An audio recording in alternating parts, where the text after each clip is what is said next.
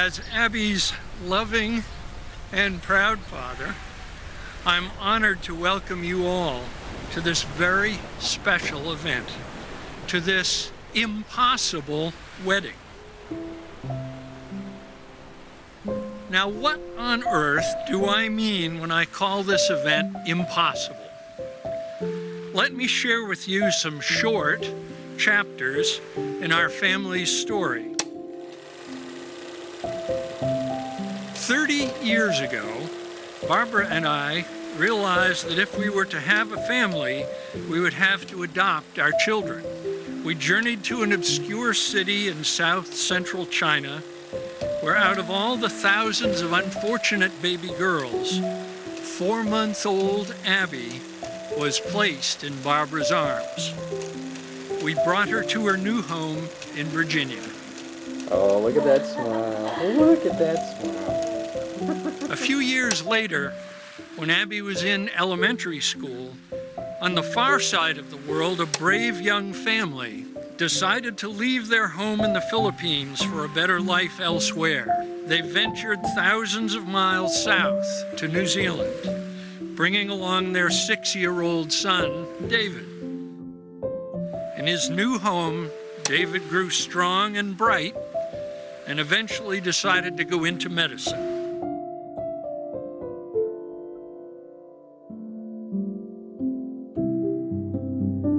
More than a decade later, Abby was nearing the end of her university training in nursing. The opportunity arose to do a semester at a foreign university. There were dozens of possible schools. But where did Abby choose to go? To New Zealand.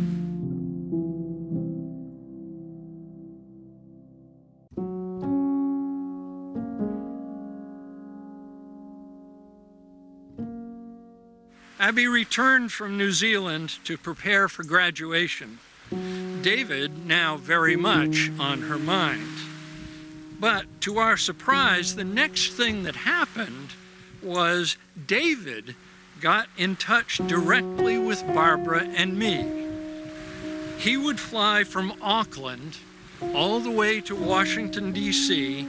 without telling Abby. Barbara and I would pick him up at the airport and drive him to Abby's apartment in Charlottesville, Virginia.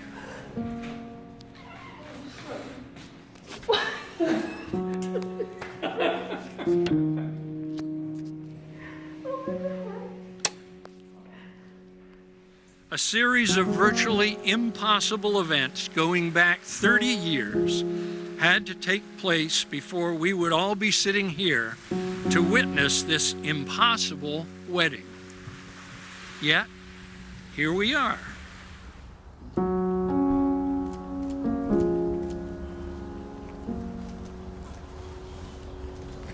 Hello, my ballerina. I know. My David. I'm going to tell the story again. when I knew I was going to study abroad, and mom said to me, just don't fall in love with anyone, okay? I brushed it off because, firstly, I thought she was joking, and secondly, because obviously that was not going to happen. Except that it did. I did not know how loving someone was supposed to be until I met you. I did not feel incomplete before we met, but once I knew you were meant for me, I could not feel whole without you.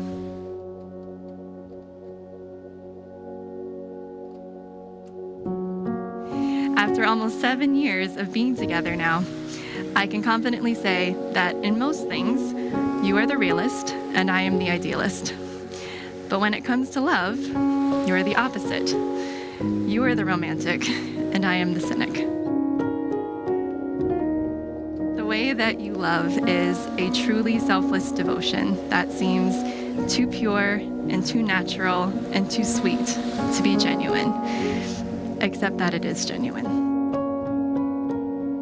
Your innate tendency to love anyone who is special to you in this wholehearted way is one of the traits I admire most about you.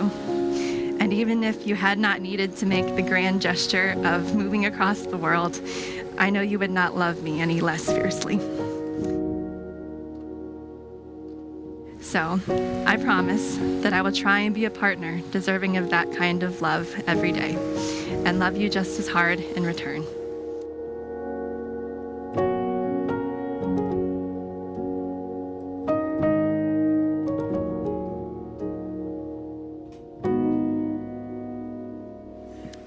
Turn to tell the story. As soon as he floated into that dungeon of a lecture room, I knew you were something special. You fascinated me from our first encounter due to your incredible intelligence, outwardly confidence, and complete lack of control for your facial expressions. I found myself hopelessly captivated by you, unable to get a grip back on my planned reality of staying in New Zealand. So when I kissed you for the first time, I told you not to think about it too much, that nothing would happen between us. I was tremendously fearful for just how deep I'd fallen and the consequences of what that meant.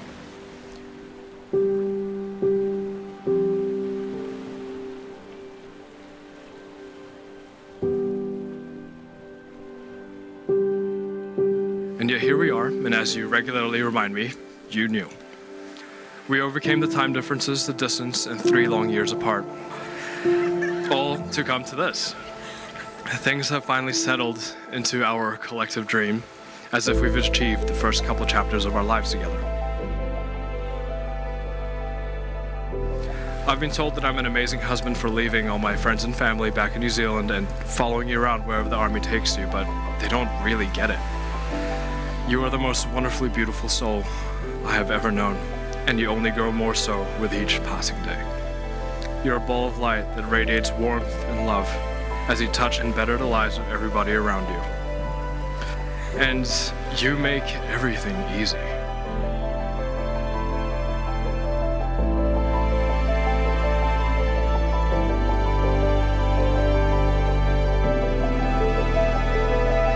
Life with you is so easy and so efficient. Sometimes I feel like we forgot the step that we're supposed to complicate things. And so it's simple. I'm not a great guy for making sacrifices. You don't find a girl that's worth giving things up for. Instead, you begrudgingly follow your heart. You kiss the foreign exchange student and realize that everything else would be meaningless without you by my side every step of the way.